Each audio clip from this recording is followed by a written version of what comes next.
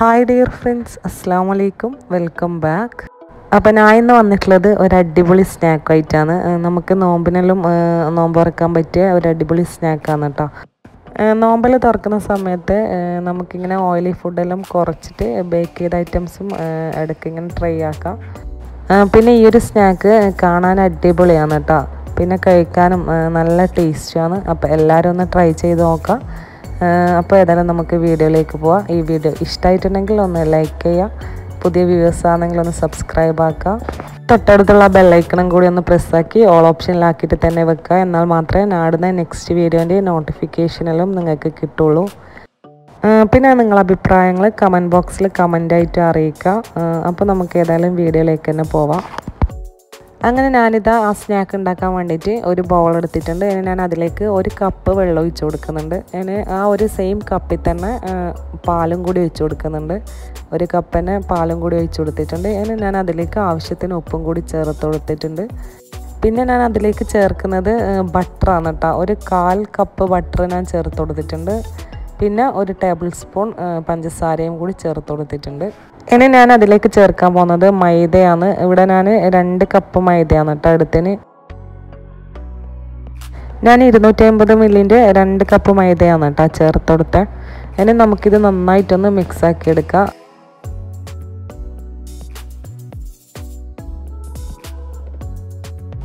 അതൊന്ന് മിക്സ് ആയതിന് ശേഷം നമുക്ക് കൈ കൊണ്ട് നന്നായിട്ട് തന്നെ ഇതൊന്ന് കുഴച്ചെടുക്കാം.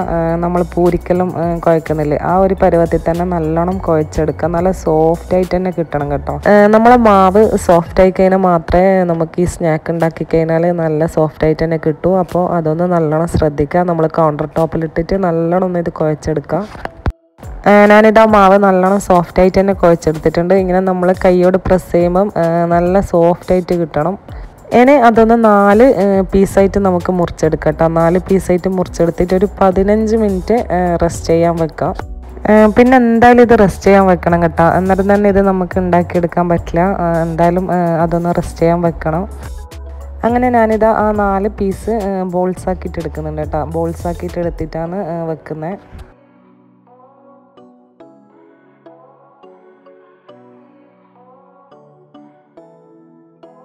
പിന്നെ ഇത് റെസ്റ്റ് ചെയ്യാൻ വെക്കുന്ന സമയത്ത് നല്ല ടൈറ്റ് ആയിട്ട് തന്നെ വെക്കണം കേട്ടോ. ക്ലിങ് ഫിലിമെല്ലാം വെച്ചിട്ട് നല്ല ടൈറ്റ് ആയിട്ട് തന്നെ നമുക്കിത് വെക്കാം.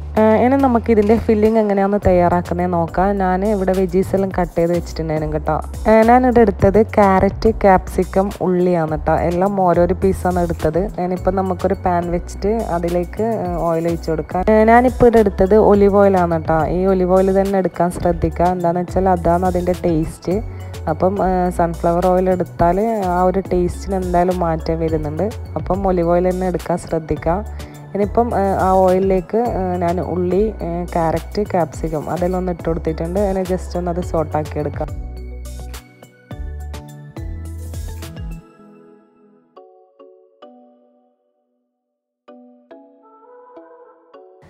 ഇനി ഇതൊന്ന് ജസ്റ്റ് വാടി വന്നു കഴിഞ്ഞാൽ ഞാൻ ഇതിലേക്ക് ചേർക്കുന്നത് ഉപ്പാണ് കേട്ടോ. ആവശ്യത്തിന് ഉപ്പ് ചേർത്ത് കൊടുക്കുക. പിന്നെ ഞാൻ ഇതിലേക്ക് ചേർക്കുന്നത് കാൽ ടീസ്പൂൺ കുരുമുളക് പൊടിയാണ്. ഇനി ഞാൻ ഇതിലേക്ക് ചേർക്കുന്നത് ഒറിഗാനോ ആണ് കേട്ടോ. കുറച്ച് ഒറിഗാനോ ചേർത്ത് കൊടുക്കുക. ഇതെന്തായാലും മസ്റ്റാണ് കേട്ടോ. ഇത് സ്കിപ്പ് ചെയ്യരുത്. ഇതാണ് ഇതിന്റെ ടേസ്റ്റ് വരുന്നത്. ഈ ഒരു ഫില്ലിങ്ങിൽ നമുക്ക് കിട്ടുന്നത് ഒറിഗാനോന്റെ ടേസ്റ്റാണ് കേട്ടോ ഏറ്റവും കൂടുതൽ ഒറിഗാനോന്റെ ടേസ്റ്റാണ് കിട്ടുക. അപ്പോൾ എന്തായാലും അത് ആഡാക്കി കൊടുക്കുക. സ്കിപ്പാക്കാണ്ട് തന്നെ ആഡാക്കി കൊടുക്കുക കേട്ടോ അങ്ങനെ ഇത് അതെല്ലാം വാടി വന്നതിന് ശേഷം നമ്മൾ ചേർത്ത് കൊടുക്കുന്നത് ചിക്കനാണ് കേട്ടോ ഞാനിത് ഉപ്പ് മുളക് മഞ്ഞൾപ്പൊടിയെല്ലാം ഇട്ടിട്ട് ഫ്രൈ ആക്കി വെച്ച ചിക്കനാണ് അതൊന്ന് പൊടിച്ചെടുത്തിട്ടുണ്ട്.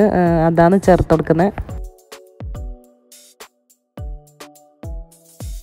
അങ്ങനെ ഇതാ നമ്മളെ ഫില്ലിങ്ങൾ റെഡി ആയിട്ടുണ്ട് കേട്ടോ ഇനി നമുക്ക് നേരത്തെ റെസ്റ്റ് ചെയ്യാൻ വെച്ച മാവ് എടുക്കാം. മാവ് എടുത്തതിന് ശേഷം അതൊന്ന് പരത്തിയെടുക്കാം കേട്ടോ നമുക്ക് ഓരോരോ ബോൾസ് ആക്കിയിട്ടൊന്ന് പരത്തിയെടുക്കാം. ഈ മാവ് നല്ല സോഫ്റ്റാണ് കേട്ടോ ഒന്നാമത് ബട്ടറും കൂടി ഇട്ടുകൊണ്ട് നല്ല സോഫ്റ്റ് ആയിട്ട് തന്നെ കിട്ടിയിട്ടുണ്ട്. അപ്പോൾ നമുക്ക് കുറച്ച് മൈദപ്പൊടി ഇട്ടിട്ട് അതൊന്ന് പരത്തിയെടുക്കാം.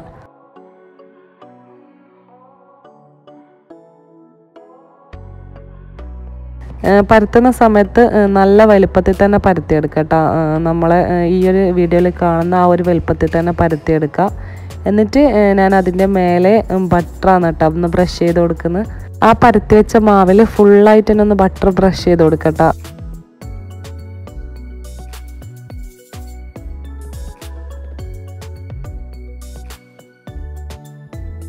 അങ്ങനെ അതിനുശേഷം ഞാനിതാ ഇങ്ങനെയാണ് കേട്ടോ ചെയ്തെടുക്കുന്ന. ഈ വീഡിയോയിൽ കാണുന്ന പോലെ ഒരു സൈഡൊന്ന് മടക്കിയെടുക്കുക എന്നിട്ട് പിന്നെ അതിന്റെ അപ്പുറത്തെ സൈഡൊന്നും കൂടി ഒന്ന് മടക്കിയെടുത്തിട്ട് ഈ ഒരു ഷേപ്പിലാക്കി വെക്കുക എന്നിട്ട് അതിന്റെ മേലെ കൂടി ഒന്ന് ബട്ടർ ബ്രഷ് ചെയ്ത് കൊടുക്കുക എന്നിട്ട് ആ ഒരു സൈഡിൽ നിന്ന് നമുക്കൊന്ന് അത് മടക്കിയെടുക്കാം കേട്ടോ ഒന്ന് സ്ക്വയർ ആക്കിയിട്ട് എടുക്കുക അപ്പോൾ ഈ ഒരു രൂപത്തിലാണ് നമുക്ക് കിട്ടുക അങ്ങനെ ഇതാ അതുപോലെ ഞാൻ എല്ലാം ചെയ്തെടുത്തിട്ടുണ്ട്. ഇനി നമുക്കിത് അരമണിക്കൂർ ഒന്നും കൂടി റെസ്റ്റ് ചെയ്യാൻ വെക്കണം കേട്ടോ. അരമണിക്കൂർ ഒന്നും കൂടി വെക്കാം.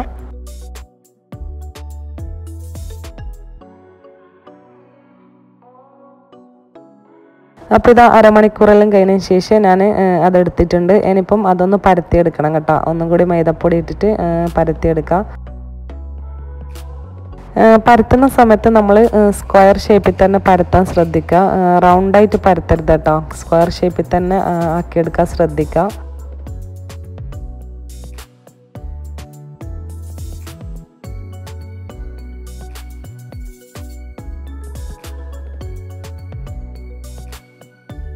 അങ്ങനെ ഞാനിത് അതിൽ പരത്തിയെടുത്തിന്. ഇനി നമുക്ക് അത് നാല് പീസായിട്ടൊന്ന് കട്ട് ചെയ്തെടുക്കട്ടോ നാല് പീസായിട്ടൊന്ന് കട്ടാക്കി എടുക്കാം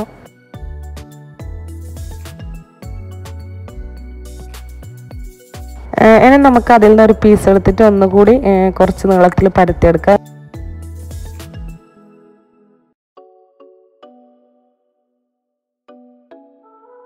ഇനി നമുക്ക് അതിന്റെ സെന്ററിൽ നിന്നൊന്ന് കട്ട് ചെയ്ത് കൊടുക്കട്ടോ അതിന്റെ മുക്കാ ഭാഗത്തോളം ഒന്ന് കട്ട് ചെയ്ത് കൊടുക്കുക എന്നിട്ട് രണ്ട് സൈഡിലായിട്ട് ഇങ്ങനെ ഫില്ലിങ് വെച്ചിട്ട് നമുക്ക് ഈ ഒരു രൂപത്തിലൊന്ന് ചെയ്തെടുക്കുക വീഡിയോയിൽ കാണുന്ന പോലെ തന്നെ ഒന്ന് ചെയ്തെടുക്കുക ഇത് ചെയ്യുന്ന സമയത്ത് നല്ലോണം ഒന്ന് ഒട്ടിക്കണം കേട്ടോ.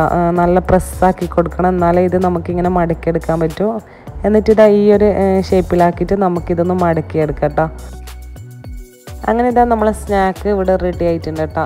ഈ ഒരു ഷേപ്പിലാണ് നമ്മൾ ആക്കിയെടുക്കുന്നത് അപ്പോൾ ഇനി ബാക്കിയുള്ളതും കൂടി നമുക്ക് അങ്ങനെ ചെയ്തെടുക്കാം. ഈ ഒരു ഷേപ്പിലുള്ള സ്നാക്ക് നമുക്കിവിടെ ലുലുലെല്ലാം കിട്ടലുണ്ട് കേട്ടോ അപ്പോൾ അന്നേരം കണ്ട മുതലേ ഇങ്ങനെ തോന്നലുണ്ട്. നമുക്ക് ഇതൊന്ന് ട്രൈ ആക്കിയാലോ എന്ന് തോന്നലുണ്ടായിരുന്നു. അങ്ങനെ ഒന്ന് ട്രൈ ആക്കി നോക്കിയതാണ്. അപ്പോൾ നല്ല ടേസ്റ്റ് ഉണ്ട് കേട്ടോ നല്ല ടേസ്റ്റാണ് ഇത് കഴിക്കാൻ വേണ്ടിയിട്ട്. എല്ലാവരും ഒന്ന് ട്രൈ ചെയ്ത് നോക്കാം. അങ്ങനെ ഞാൻ ബാക്കിയുള്ളതും കൂടി ചെയ്തെടുത്തിട്ടുണ്ട് കേട്ടോ ഇനി നമുക്ക് അതിന്റെ മേലെ മുട്ട ഒന്ന് കലക്കിയിട്ട് ബ്രഷ് ചെയ്ത് കൊടുക്കാം കേട്ടോ എന്നാൽ മാത്രമേ നമുക്ക് ബേക്ക് ചെയ്യുന്ന സമയത്ത് നല്ല ക്ലൈസിങ്ങും ടേസ്റ്റും എല്ലാം ഉണ്ടാവും. പിന്നെ ഇതിന്റെ മേലെ നമുക്ക് വൈറ്റ് എള്ളില്ലേ അതും കൂടി ഒന്ന് സ്പ്രെഡ് ആക്കി കൊടുക്കുക ഓപ്ഷണലാണ് വേണമെന്നവർ അതും കൂടി ഒന്ന് ഇട്ട് കൊടുത്താൽ കുറച്ചും കൂടി കാണാനും ലുക്ക് ഉണ്ടാവും. ഞാനിപ്പോൾ ഇതൊരു ടു ഹൺഡ്രഡ് ഡിഗ്രിയിൽ ഒരു ഇരുപത് മിനിറ്റ് ആണ് കേട്ടോ ബേക്ക് ചെയ്തെടുത്ത്. പതിനഞ്ച് മിനിറ്റ് ഇരുപത് മിനിറ്റ് ഉണ്ടെങ്കിൽ എന്തായാലും റെഡി ആകുന്നുണ്ട് അങ്ങനെ ഇതാ ഇവിടെ നമ്മൾ സ്നാക്കിൽ റെഡി ആയിട്ടുണ്ട്. അപ്പോൾ നമുക്ക് ഇത് ഇഫ്താറിന് കഴിക്കാൻ പറ്റിയ അടിപൊളി സ്നാക്കാണ് ഓയിലോ കാര്യങ്ങളോ ഒന്നും ഇല്ലാത്തൊരു സ്നാക്കല്ലേ അപ്പോൾ എന്തായാലും എല്ലാവരും ഇതൊന്ന് ട്രൈ ചെയ്ത് നോക്ക്. അപ്പോൾ ഇതാണ് ഇന്നത്തെ എന്റെ വീഡിയോ.